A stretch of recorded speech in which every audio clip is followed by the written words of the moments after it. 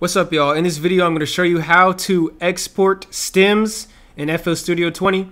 So the first thing that you should know before we get to that is that um, just know that it's going to export what's in the mixer. So if you have multiple sounds that you want to separate that are in the same mixer channel, you're going to have to put that sound in a different mixer channel. As in like say you have two hi-hats but you want to have two different stems for them you're gonna have to put each hi-hat in its own mixer channel.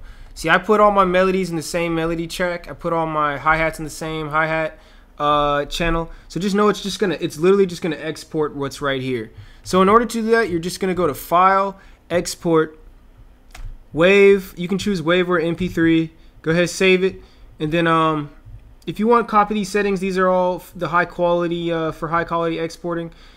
And then the key is, you know, choose Wave or MP3, but the key is uh, you're just gonna hit Split Mixer Tracks and it's just going to split all the mixer tracks. And it's also going to export um, the full version as well. So it's going to export the full version and the mixer tracks. So it's just going to that's that's the splits. It's just going to split everything out.